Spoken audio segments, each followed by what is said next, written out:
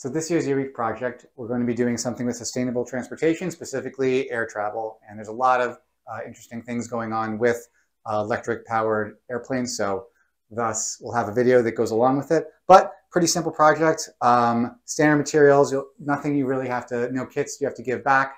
Um, it's just materials that you can get and go. Materials are just, right, set of straws, paper clips, rubber band, index cards, tape, straightforward.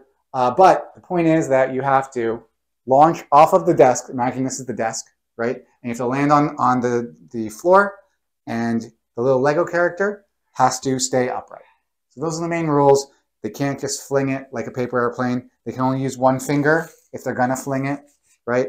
But they can hold it if they want. So hopefully some of them learn to, you know, do a, a full rubber band like that. Um, but they can use one finger to fling off the table. So it has to take off Matthew, can you try? Oh, fell a little bit, but can you tell me a little bit about how you built that? Um, I built it.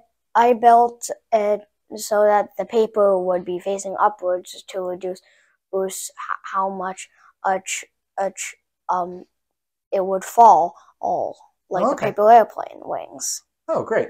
All right, what about you, Alex? So to keep my figurine in, I used a seatbelt. Oh, cool. All right, try it out.